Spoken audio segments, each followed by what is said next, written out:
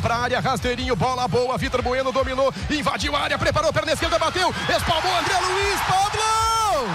Olha o gol aí!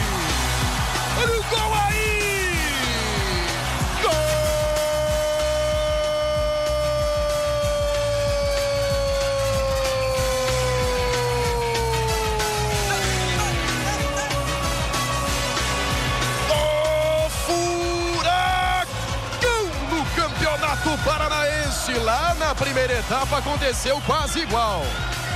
Jogada criada lá, o Alex Santana bateu, André Luiz soltou, Pablo perdeu. E agora, se sobrar mais uma, o cara é artilheiro. Pablo!